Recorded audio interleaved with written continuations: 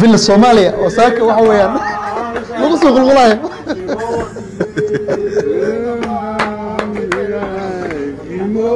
berri waktigan oo kale waxaa si rasmi ugu wareegi doona madaxtooyada villa soomaaliya mudane xasan sheekh maxamuud.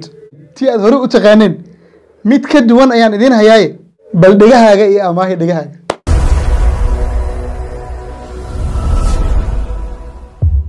asalaamu calaykum waraxmatullaahi wabarakaatuhu waa idin salaamayaa dhammaantiin shacabka soomaaliyeedow. Meel walba oo aad dunida ka joogtaan waxaan idin leeyahay maalintu ha idiin wacnaato galabta iyo subaxuna ha idiin wacnaado. Ilaan qof walbaaba waqtigiisaan ku salaamayaa.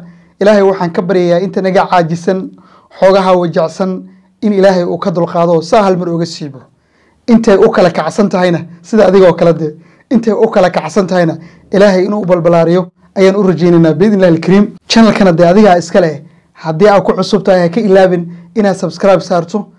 Haddii muuqaalkan si nabdoon waaba ogahay inaad ku daawanayse lagu isu kaa saaran yihiinna like tahanala dhaafin wixii talay tusaalena qaybta commentiga jag ku soo sii.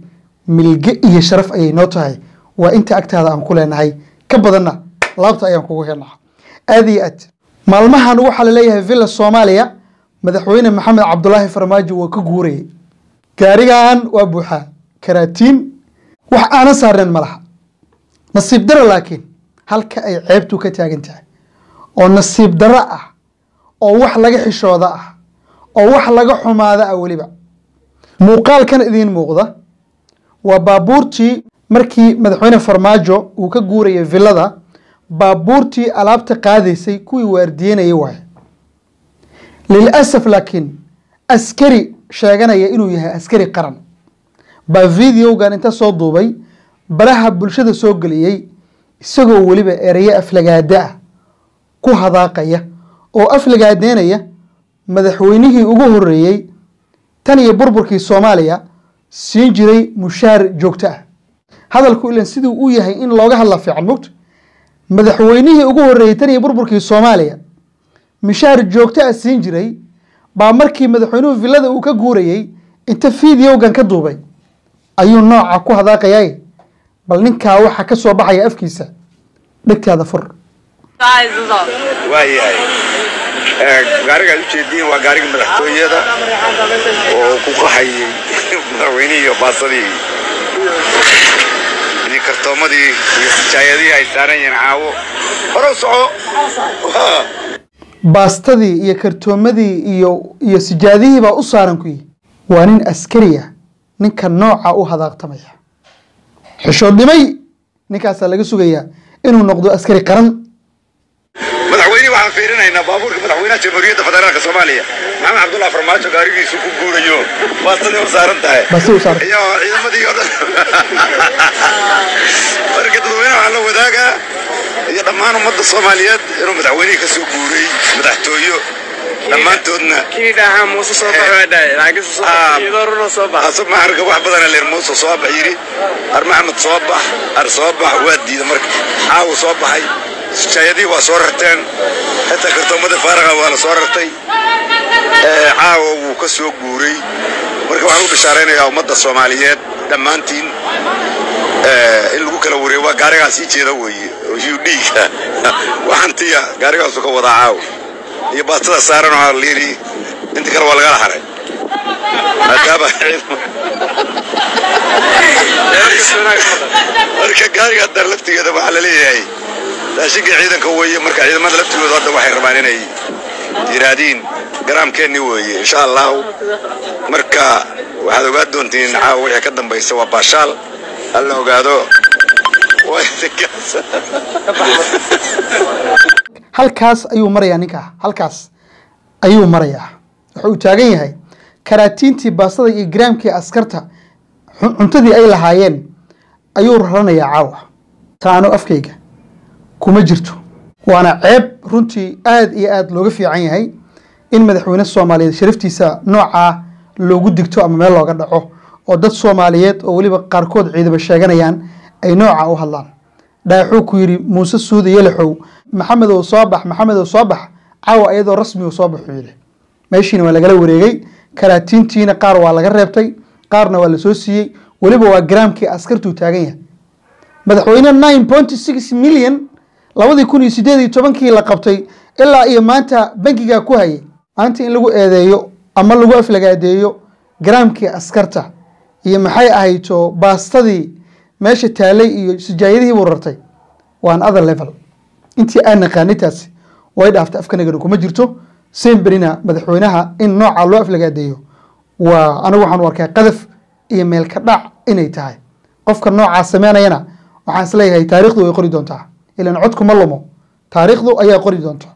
Kasoo gudub jamaahiirtii nabad iyo nolol jamaahiirtii xoog weyntii filinka cabsi cabsida markuu shidmaayo noocan oo kale in xagga idinka soo maro waa liidin ammaano mogtahay xoog weyntii nabad iyo nolol waxay taagan yihiin maadaama madaxweyne maxamed cabdulaahi farmaajo shantii sane ee wadanka uu maamulayay wax guri ah aanu dhisan. Hadeertaana xilkii uu ka degay oo madaxweyne xasan sheekh maxamuud xilkii hadda la wareegay waxaa la leeyahay madaxweynaha waxaa loo yegleeli doonaa guri ayay jamaahiirtu uga dhisi doonaan magaalada muqdisho. Cajaayib sheekhow jamaahiirtu caadi inaba caadi maaha waa iga gadan yihiin waxaa la taagan yahay madaxweyne maxamed cabdulaahi farmaajo. Ayaan doonaynaa in aan guri qurux badan oo qasri ah aan uga taagno gudaha magaalada muqdisho. Inta gurigaa loo dhisayana madaxweynuhu guri villo ah oo kiro ah ayuu ku sii jiraya uu sii deganaanaya. Waxaa la soo qaatay marka sawirkan iyo gurigan isku dhegan ayaa la soo qaatay. Xitaa waxaa la yidhi nashqada guriga waa inay noocaa noqotaa laakiin qasri waa inay gudaha ka sii ahaataa.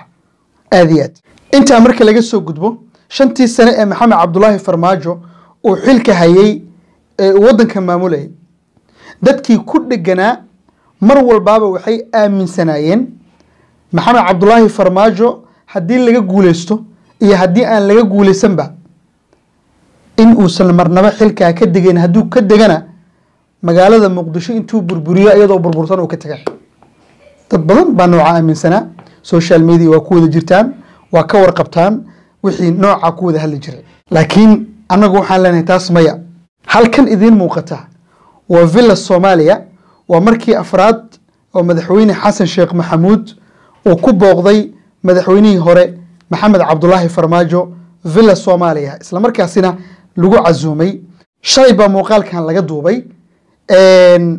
Marka shalay waa maalintii ugu dambeysaan dhihi karaa oo madaxweyne xasan sheekh maxamuud uu villada soo booqdo. Hadda kadib isaga ayay u camirnaanaysaa oo degayo laakiin tan waa booqasho. Sidana macnaha waxa weya loo xardhay quruxdan aad arkaysaan baa loo sameeyey sidaasaa loo kala kiciyey.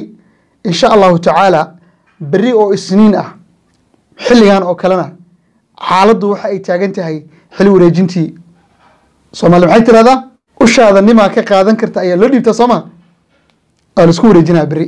Waxaana sugi doonaa hadduu ilaah yidhaahdo khudbadaha qiimaha badan ee berri halkaa ay ka soo jeedin doonaan madaxweyne maxamed cabdulaahi farmaajo iyo madaxweyne xasan sheekh maxamuud iyo madaxda kale ee ka soo qeybgeli doonta biidn illahi alkariim.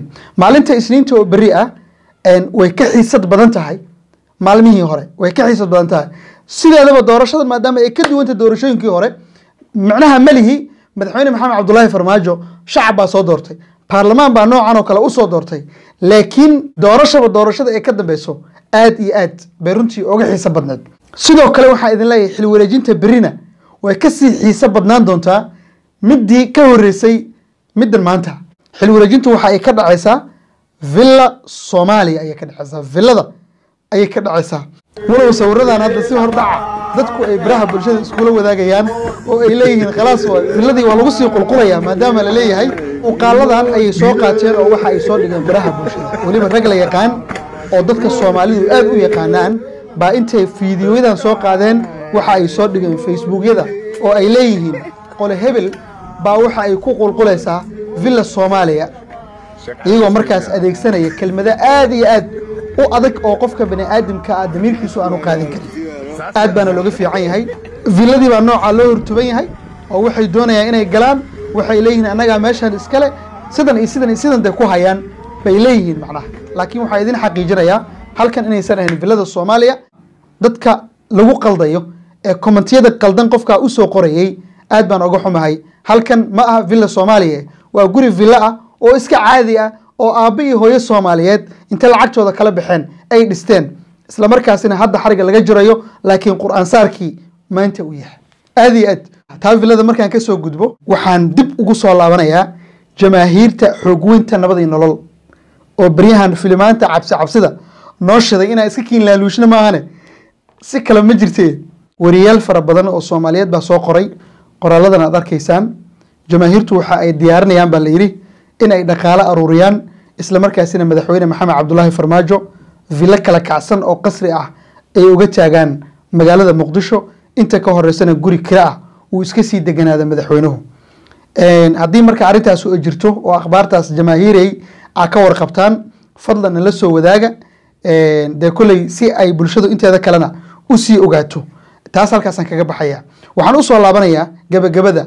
Karaatiintan iyo waxaan la sheegayo madaxweynuhu waa ka qiime iyo sharaf weyn yahay nin aruursada disti iyo kartooman iyo iyo iyo sokor iyo baasto meel taal qof aruursada madaxweynuhu waa ka qiime iyo sharaf weyn yahay. Waxaa laga yaabaa maadaama madaxweynihii madaxweyne kale oo bedelaya uu imaanayo in wixii la bedelayo wixii qalab oo macnaha dhex yaalay in la bedelayo oo qalab cusub meeshii la keenayo. Laakiin madaxweynaha in ceeb looga dhigo oo la yidhaahdo madaxweynihii karaatiintii buu aruursaday baastadii buu aruursaday bariiskii iyo sokortii iyo burkii yaalluu gurtay waxaas waa meelka dhac iyo ceeb. Waa cunno oo cunnadu ceeb ma laha laakiin in madaxweyne soomaaliyeed ilaa heerkaa lala gaaro uma arka inay sax tahay aniga. Inay sax tahay uma arko. Meesha maadaama madaxweyne kale imaanayo waa laga yaabaa in jawgii la bedelayo. Jawgii in la bedelayo oo wixii dee qalab ay yaallo dhinta la bedelo qalabaan cusub la keenayo lagu rikibayo ma macquul ila meesha berri waxa ka dhaceyso xafladii xili wareejinta ka dhaceyso marti kala duwan baa imaanayso. So marka in wixii la bedelo waa macquul. Laakiin in madaxweynaha intaa saas lagu aflagaadeeyo oo haddana cunto ceeb laga dhigo aniga sax uma arka weliba rag waaweyn oo odayaala inay nooca ugu sheekeeyaan dadka aad baa looga fiican yahay.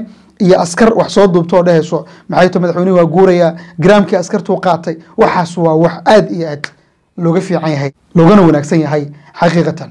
Berina insha allahu tacaala hadduu ilaahay nabad nagu gaarsiiyo waa xafladii xil wareejinta xafladii xil wareejinta ayaa dhici doonta. Waxaanu rajeynaynaa hadduu ilaah yidhaahdo sidii aanu arki jirnay si ka qiimo badan inay u dhici doonto hadduu rabbi ka noqdo.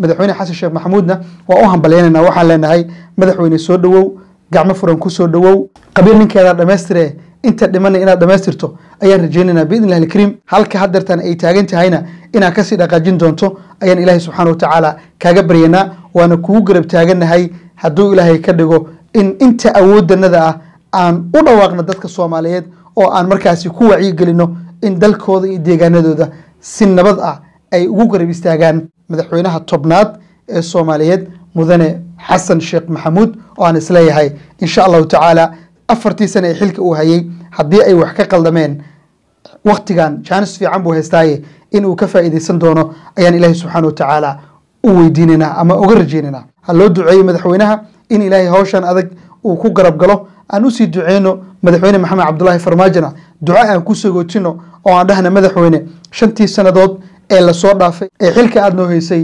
waxyaale aanan kugu ilaabi doonin ayaa jirto qalbiyadanada ayaad boosas badan ka samaysatay soo noqa adigoo nabad ah aad baa umahadsantihiin jamaahiirta iyo inta kale inta muuqaal kan la mid aan dib isugu soo laaban doono waxaa idinkaga tegaya nabadgelyo.